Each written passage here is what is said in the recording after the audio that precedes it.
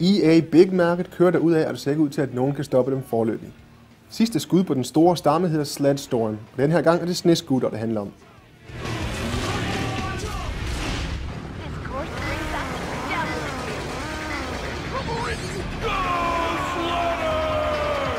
Hvis du nogensinde har undret dig over, hvilket mutantkøretøj man ville få af et par en ganske almindelig sneskutter med en ordentlig dosis nitroglycerin, så tag en tur med slædestormen og find ud af det.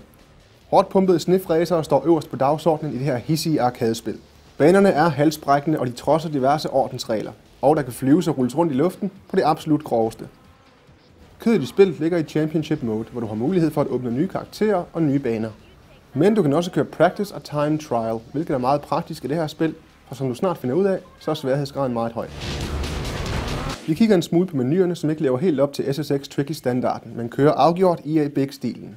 Karakterudvalget består af de typiske farverige personligheder, med et par kendte ansigter, nemlig blandt andet Zoe Payne og Simon fra SSX Tricky-serien. Begge er herlige gensyn.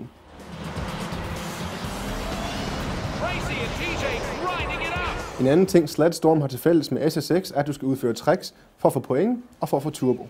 Dog spiller tricks ikke så stor en rolle i det her spil, som det gør i SSX. Her handler det mere om at komme først i mål. Men bare fordi du har en flere hundrede kilo tung sneskutter mellem benene, betyder det ikke, at du ikke kan få noget ordentlig luft under lavfødderne.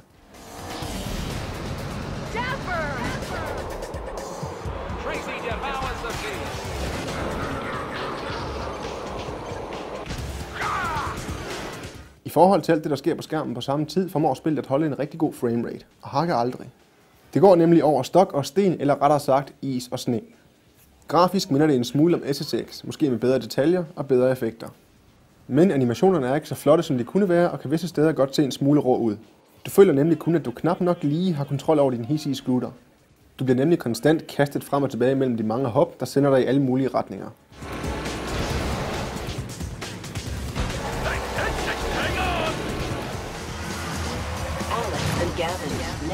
Lyden i spillet kan beskrives som overmiddel.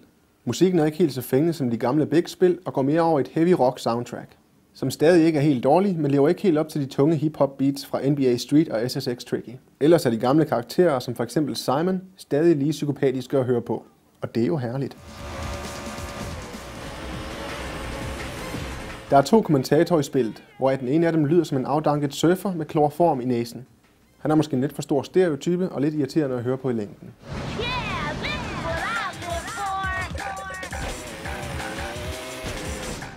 Men hvis du kan klare det voldsomme gameplay og lede efter en god udfordring, så er det her spil måske lige noget for dig. Sledstorm må siges at være et nyt hit fra EA Big.